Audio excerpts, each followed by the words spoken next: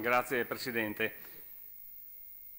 Il punto all'ordine del giorno di oggi riguarda il nuovo piano faunistico venatorio. È praticamente il piano regolatore che riguarda non solo l'attività venatoria, è bene ricordarlo, ma riguarda anche la tutela della fauna selvatica. Quindi ha questo doppio aspetto, tutelare la biodiversità, la fauna eh, selvatica, la legge la chiama fauna omeoterma, cioè a sangue caldo, e, e poi eh, programmare l'attività venatoria. Questo è una, una, uno dei momenti che quest'Aula dovrebbe eh, legiferare ogni cinque anni, perché le normative statali, ma anche la nostra normativa regionale, dice che un piano faunistico venatorio dura cinque anni, come sono previsti dei limiti temporali per altri tipi di piani e questo naturalmente vale a maggior ragione se si pensa che si ha a che fare con un territorio un territorio che è continuamente in evoluzione, un territorio come quello della Regione Veneto che è soggetto a, al consumo del suolo. Siamo una delle regioni dove eh, il consumo del suolo ha creato più problemi, ha creato più danni. Eh, si tratta di un piano faunistico venatorio approvato con la legge regionale 1 del 5 gennaio 2007. Quindi questo è stato approvato in aula nel 2006 questo piano faunistico governatorio ed è scaduto il 9 gennaio del 2012, quindi è scaduto ormai cinque anni fa ed è stato riesumato, concedetemi il termine, grazie a proroghe su proroghe su proroghe.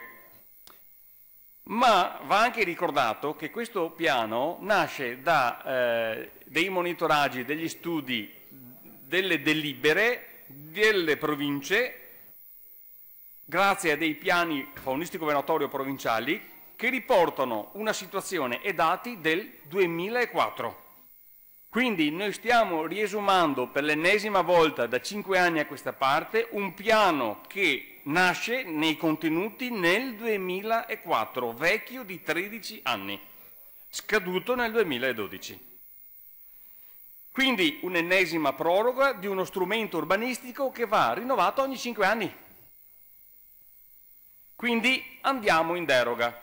Attenzione, eh, mi rivolgo soprattutto all'assessore perché questa volta bisognerà mettere veramente i puntini nelle i anche nell'applicazione delle norme che il calendario venatorio concede determinate eh, possibilità se c'è una corretta gestione programmata dell'attività venatoria. Se andiamo a fare un calendario venatorio con un piano faunistico venatorio vecchio di 13 anni, attenzione, io penso che certe possibilità concesse dalla legge non si possono più applicare. Eh, ma che cosa è successo in questi anni? Siccome stiamo parlando di gestione programmata della caccia e dell'attività eh, venatoria e della tutela della fauna selvatica, abbiamo una suddivisione dei territori in, ad esempio, ambiti di caccia, comprensori alpini, poi abbiamo le zone di, di tutela della fauna di diverso grado, le osi di protezione, zone di ripopolamento e cattura e quant'altro. In questi anni sono accadute delle cose che hanno modificato sul territorio in maniera sostanziale i confini di questi ambiti di caccia, di queste zone di popolamento e quant'altro, perché perlomeno il suolo perché sono state eh, eseguite e realizzate delle opere importanti, mi riferisco ad esempio alla superstrada pedemontana veneta, alla Valdastico Sud, interi di questi eh, istituti faunistico-venatori sono stati in qualche modo divisi in due, spezzettati, ci sono diverse aree divise tra loro che prima erano aree unitarie. Poi va anche detto che c'è stata una certa eh, diminuzione diciamo, demografica di chi eh, pratica l'attività venatoria, ma poi ci sono stati eh, degli effetti che prima non c'erano negativi sulla fauna selvatica. Ad esempio effetti dovuti ai cambiamenti eh, climatici, effetti dovuti a sbalzi di temperature alle quali non eravamo abituati, a precipitazioni intense alle quali prima non si era, eh, non si era abituati, che hanno delle ripercussioni sulla fauna selvatica, sugli uccelli migratori non da poco. Nel frattempo sono arrivate nella nostra regione specie prioritarie, ovvero tutelate da direttive europee, ad esempio la direttiva Habitat, come il lupo, l'orso, la lince. Quindi abbiamo un piano a, che andiamo a riesumare e a, e a prorogare, un piano che fotografa una realtà che non esiste più nel territorio. Nel contempo molte eh, popolazioni di diverse specie, soprattutto uccelli migratori, sono quasi sparite dal nostro territorio, sono calate, eh, ad esempio un uccello migratore cacciabile che ha subito una diminuzione fortissima, non lo dice solo l'ISPRA, ma lo dicono anche tutti i siti online di, degli appassionati di caccia, è la lodola che è considerato in declino in tutta Europa. Poi il passero praticamente è quasi scomparso, ricordo che grazie a questa regione, ma non solo, il passero è stato, pur essendo protetto dalla direttiva europea, è stato cacciato per anni, adesso stiamo raccogliendo un po' i risultati, e risulta evidente pertanto che questa proroga non è in linea con la legge 157, con i principi fondamentali della programmazione faunistico-venatoria che prevede la legge quadro sull'attività venatoria e tutela della fauna selvatica. In questo vecchio piano, tra l'altro, ci sono degli obrobri perché eh, per raggiungere le percentuali minime di area protetta previste per legge abbiamo inserito, cioè sono stati inseriti dalle precedenti dalla, eh, colleghi, con l'approvazione del vecchio piano, centri abitati, zone industriali, addirittura aeroporti militari o specchi d'acqua dove la fauna mai e poi mai può sostare o riprodursi. Ma di che regione stiamo parlando, assessore e colleghi? Stiamo parlando della regione Veneto che in tema di aree protette, che sono una delle parti fondamentali di questo piano, le aree protette, per quanto riguarda i parchi siamo al 5,3% di territorio, contro una media nazionale del 20%, oppure il 19% del Friuli, il 15% della Lombardia. Quindi siamo una delle regioni fanalino di coda per quanto riguarda la tutela del nostro territorio. C'è veramente da chiedersi perché non siamo riusciti per l'ennesima volta ad approvare un piano, perché appunto per questo piano che eh, era stato licenziato nella precedente legislatura ma non approvato, erano stati spesi anche dei soldini. Poi, per quanto riguarda la, la, la, fa, i danni alla fauna selvatica, è giusto ricordarlo a tutti i colleghi che magari non se ne intendono di caccia o di fauna selvatica. È vero sì che ci sono delle specie che creano danni all'attività venatoria, ma guardate che sono circa 40-45 le specie cacciabili e quelle che causano danni sono 2, 3, 4. Tra, tra queste una delle maggiori imputate è la lepre, risulta dai dati eh, del, eh, della bozza di piano approvata precedentemente grazie a, appunto, a un monitoraggio che è stato fatto oh, sulle procedure di indennizzo danni. La lepre ma nessuno mai ha fatto leggi contro la lepre perché la lepre è una specie cacciabile. Poi eh, c'è anche da dire, e questo è un altro punto per il quale so, siamo intervenuti con un emendamento, che eh, questa proroga avrà, avrà degli effetti negativi anche sui diritti di alcune categorie di cittadini, ovvero su chi detiene, possiede dei terreni agricoli o dei terreni nei quali vogliono vietare l'esercizio venatorio.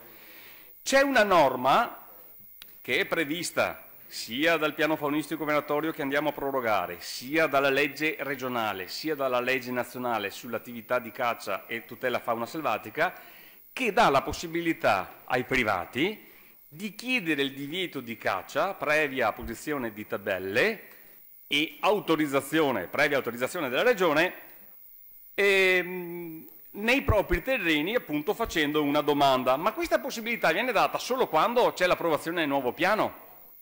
Ma l'ultimo piano l'abbiamo approvato, è stato approvato nel gennaio 2007.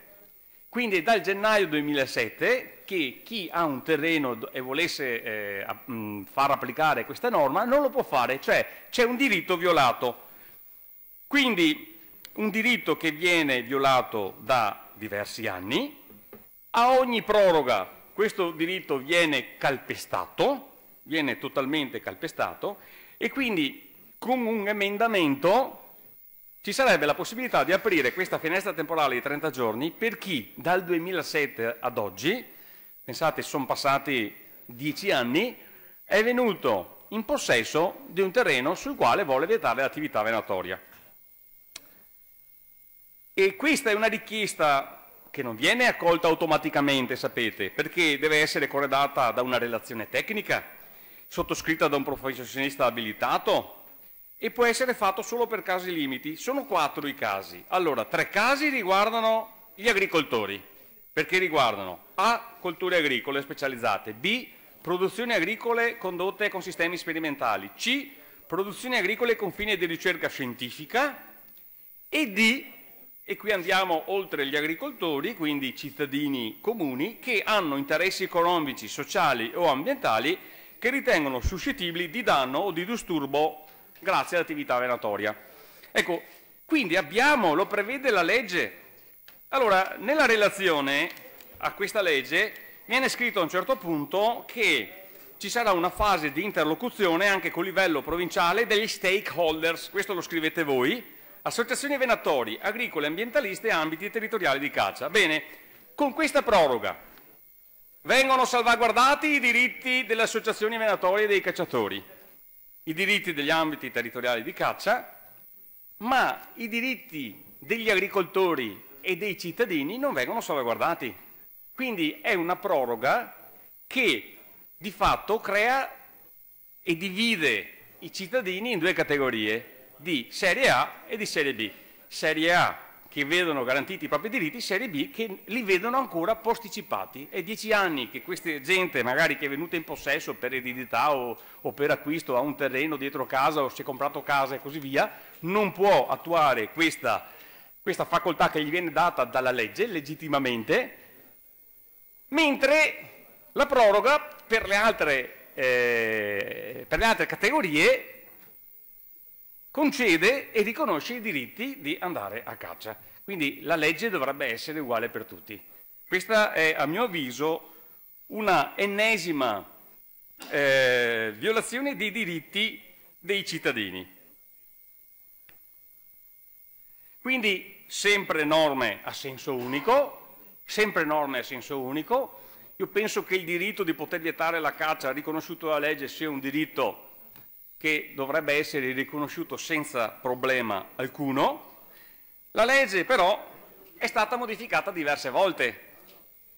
Il piano non l'abbiamo fatto, questa giunta non ha fatto il piano, non lo porta al Consiglio per l'approvazione, però questo Consiglio di leggi in questa, in questa legislatura sulla caccia ne ha fatte molte.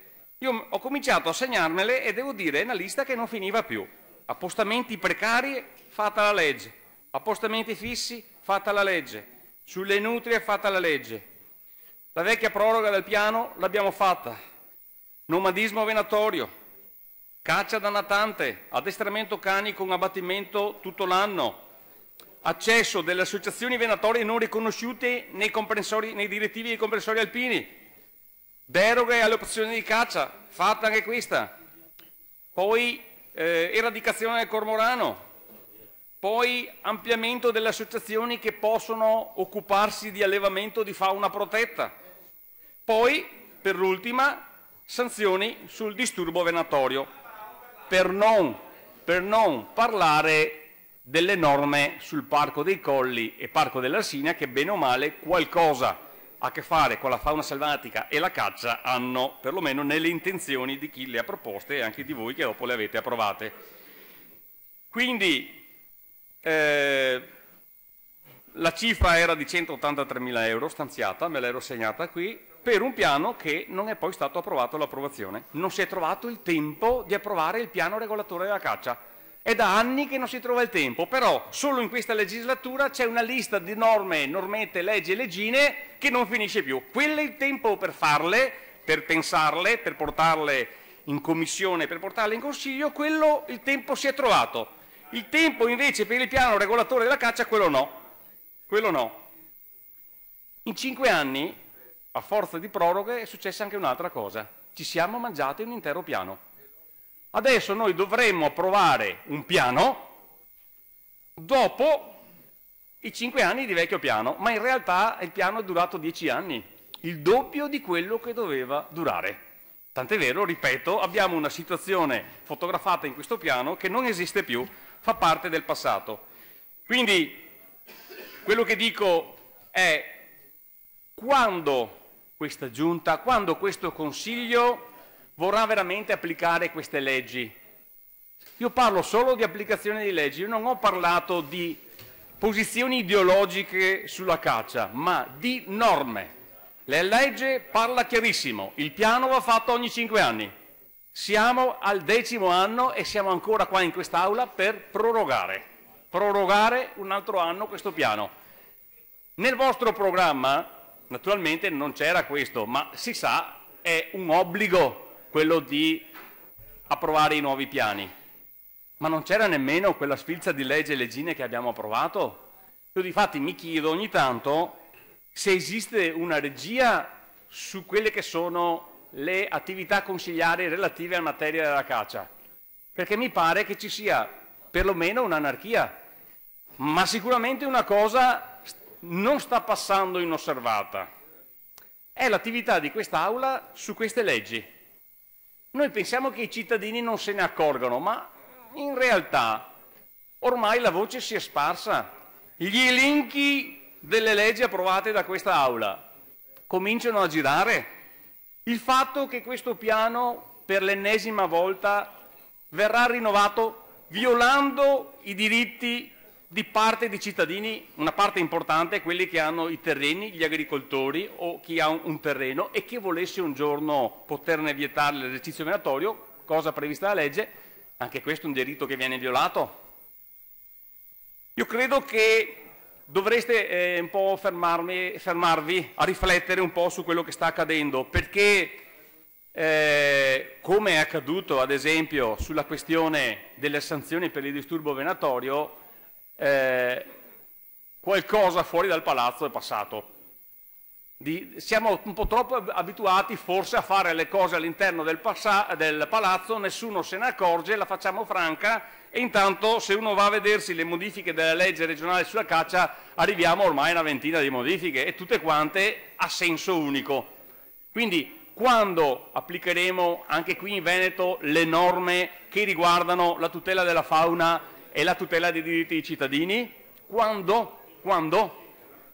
Eh, io penso che siamo comunque in ritardo, eh, ma eh, naturalmente eh, sta a voi che siete in maggioranza a lei assessore decidere per cambiare un po' rotta, per cambiare verso, perché eh, effettivamente eh, la strada che si continua a percorrere qua dentro, a mio avviso è una strada che prima o dopo porterà qualcuno a sbattere.